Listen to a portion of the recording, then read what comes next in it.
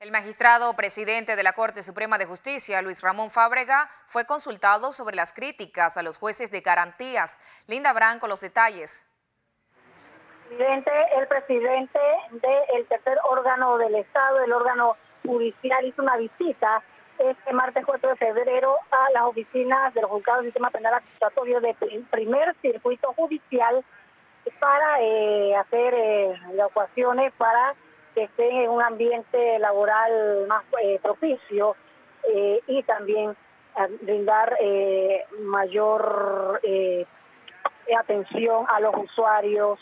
Y ahí el presidente de la Corte Suprema de Justicia, magistrado Luis Ramón Fábrega, fue consultado sobre diversos temas, como los cuestionamientos que hace el ministro de Seguridad, dando millones a las decisiones de algunos jueces de garantía, que eh, otorgan medidas cautelares leves a personas vinculadas a eh, delitos graves como homicidio y, porte eh, ilegal de arma de fuego y también habló sobre la implementación de la carrera judicial. Escuchemos al presidente de la Corte Suprema de Justicia.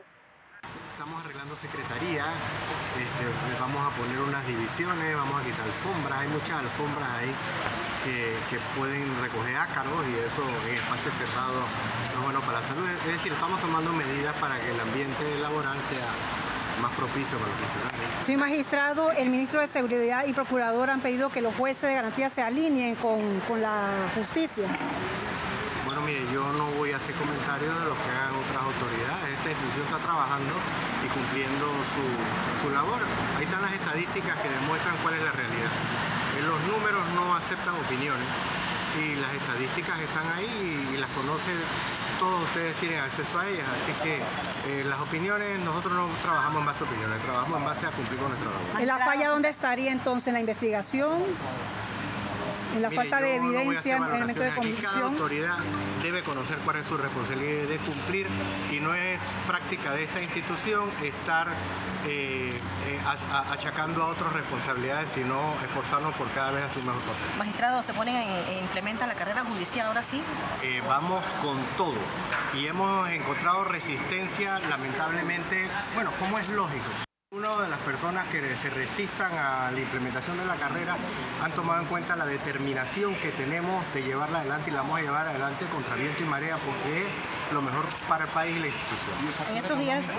El factor económico siempre ha sido un limitante en la institución y siempre hemos trabajado y encontraremos la forma de lograr nuestro, nuestros objetivos. Hay quienes hablan en estos momentos de reformar la ley. ¿Es oportuno esto de reformar la ley de carrera judicial en estos momentos? Eh, yo no contemplo esa posibilidad. Eh, yo voy a trabajar con la ley y vamos a ver de las experiencias quizás más adelante, en la medida que existan consensos, podrá este, reformarse o no la ley pero mi trabajo, yo lo entiendo así, es implementarla eh, como está. La ley hay que cumplirla. Le guste o no, le guste a usted o no, hay que cumplirla y eso es lo que vamos.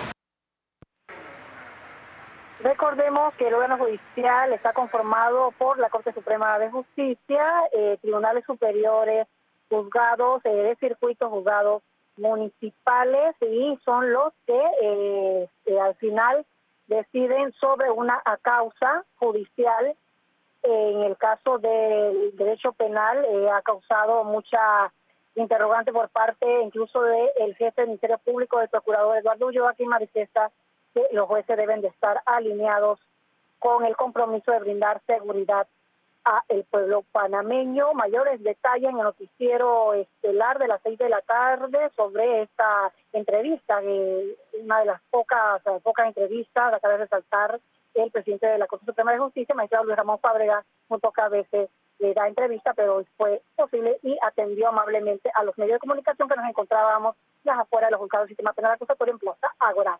Soy Linda Brand, Next Noticias.